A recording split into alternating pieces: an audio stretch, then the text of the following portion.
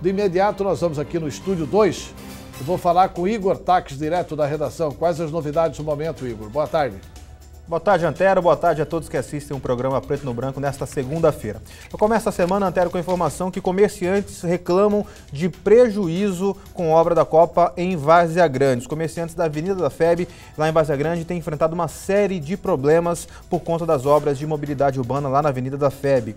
Com as interdições, é, o comércio tem reclamado muito da queda de faturamento e também a queda de clientela. Alguns comerciantes alegam que perderam 60% dos seus clientes devido à falta de de lugar para estacionar e também a via está totalmente interditada.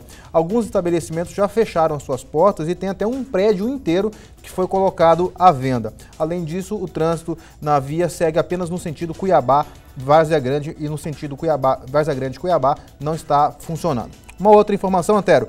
Mato Grosso pode ser rota de tráfico internacional de pessoas.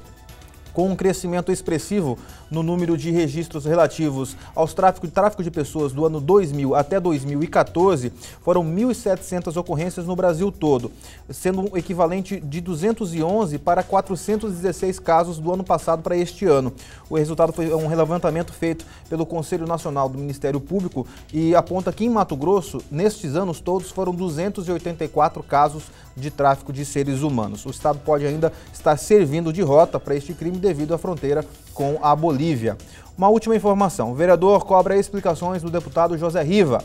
O vereador Dilemário Alencar, em entrevista hoje pela manhã no Matérias de Capa aqui pela TV Pantanal, voltou a cobrar explicações, Antero, por parte do deputado Riva com relação às declarações que ele concedeu sobre a provável extorsão que o ex-vereador João Emanuel estaria sofrendo do, até então seus colegas da Câmara Municipal de Cuiabá.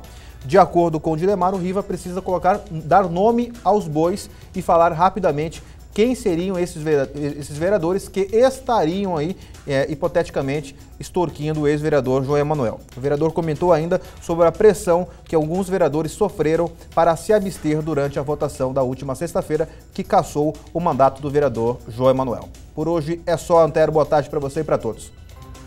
Boa tarde, Igor. Na verdade é o seguinte, essa questão da Câmara, que deveria ser uma página virada, né? Bom para todo mundo, é que isso fosse uma página virada, mas o deputado Riva insiste em manter aceso esse debate e não revela coisíssima alguma. Sabe por quê? Porque tem gente dizendo o seguinte: se há chantagem, tem pessoa que joga truco, truco, cara, quero com retruco, vai, quero vale quatro, então assim.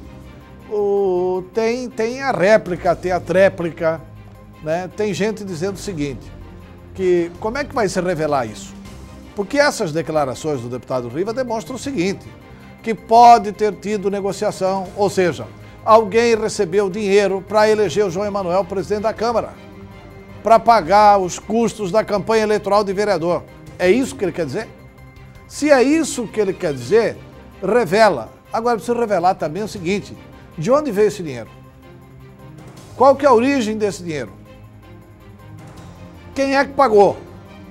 Onde é que se conseguiu?